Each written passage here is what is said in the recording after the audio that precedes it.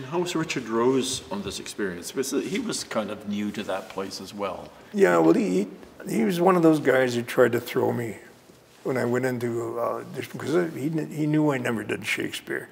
And he says, here's the script we're going to work with. The stave, all they used were V's. And I said, yeah, so what?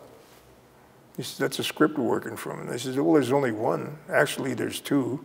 But this is the one that uh, uh, Stratford uses, whittled down to three hours so the crew can have time to turn around to the second show. Yeah. I said, don't, don't pull any shit with me, Richard. I know you didn't like doing me through coming through slaughter because I wouldn't do what you said. Because you were wrong in that play. You were, you were wrong to do what you asked me to do because you wanted to see me dance to your strings. I, I know, I won't do that. I'm not going to dance to your strings doing this play either. So wait a minute, you went into a uh, what do you call the prize pig or whatever? Prize hog. The prize hog. You went to a prize hog position at Stratford, not having done Shakespeare, having abhorred the play in grade nine with a director you didn't get on with. Graham, is that a recipe for unhappiness?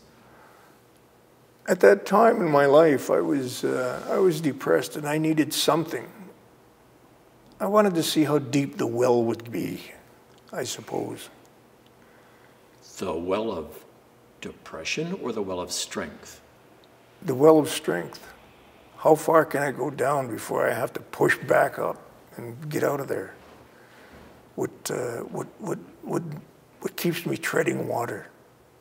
I have to learn how to tread water if I'm going to work in that situation, or else I'll drown, or else I will go into full depression and and die. A lot of actors I know are, are suffering from depression. And you're standing on a teeter-totter right in the, right in the fulcrum, and you got one foot over here and one here, and you got to keep that level. And it's very hard.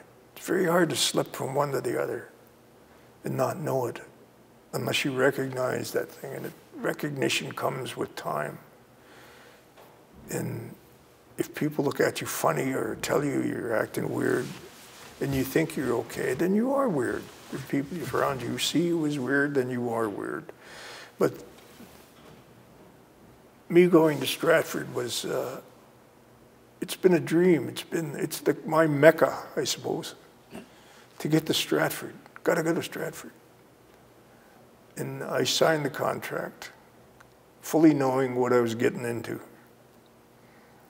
but with a nervous hand, I signed it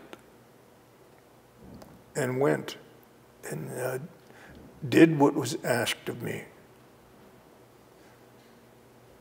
Uh, not knowing that the cost it would uh, bring to me. And I was hitting the bottle pretty hard and uh, almost turned into a full-blown, completely illiterate alcoholic. And that's another thing a lot of actors slip into, alcoholic and alcohol and drugs to uh, sort of soothe their uh, wounds. And, uh,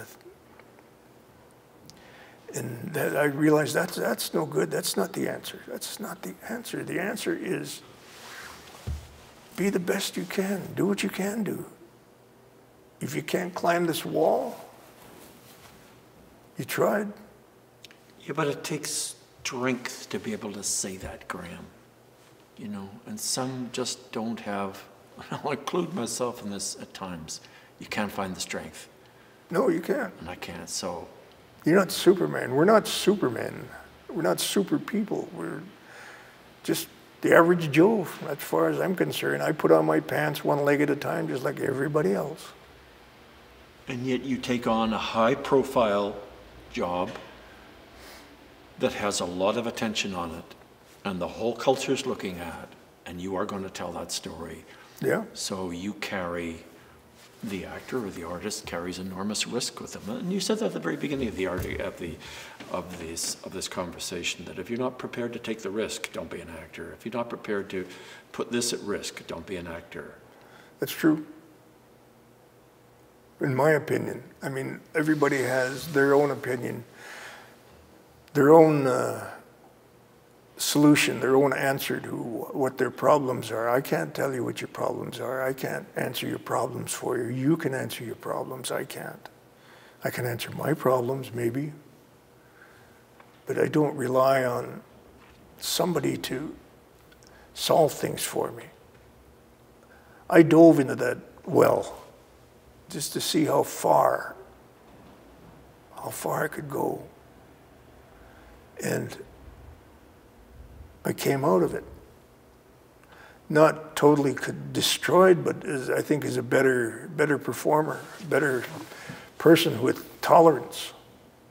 To- Tolerance towards yourself toward- Tolerance towards myself and tolerance towards others.